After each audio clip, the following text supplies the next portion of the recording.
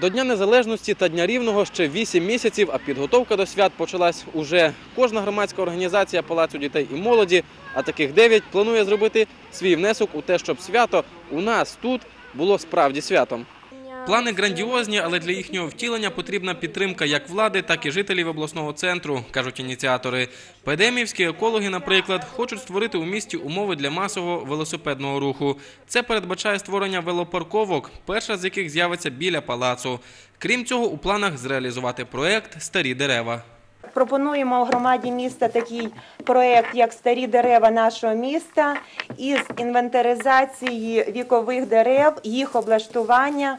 Е, Саме цей проєкт сприятиме збереженню вікових дерев нашого міста. Саме ці дерева є носіями міцної енергетики, емоційного впливу.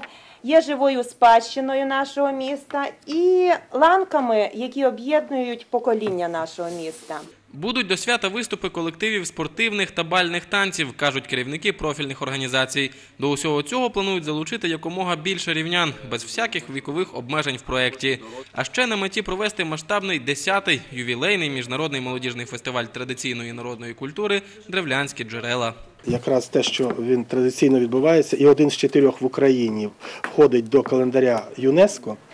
Е, До фольклорних фестивалів, які визнані цією організацією, це теж про що говорить. Кожного року щось нове є. Е, Зрозуміло, що на цей рік є теж заготовки. Нехай це буде поки що інтригою. А от новостворена громадська організація Палацу з охорони і збереження історико-культурної спадщини ініціюватиме видання книги Храми Рівного, впорядкує меморіальні комплекси та займеться музеєм. Ми будемо все робити для того, щоб створити до Дня міста, створити музей міста Рівного, про який дуже довго йде мова, але практично це питання поки що не вирішено. Ми будемо сприяти цьому. Е, З огляду на це ми е, зустрілися з всіма представниками наших.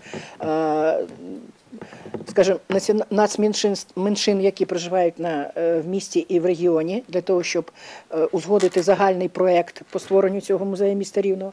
Окрім цього, у планах активістів провести традиційний благодійний марафон з вірою в майбутнє для обдарованих вихованців палацу, попіклуватись про дітей з Мізоцької школи-інтернату та багато іншого. А ще невдовзі проведуть конкурс серед школярів на найкращий малюнок, який стане брендом цього педемівського проєкту.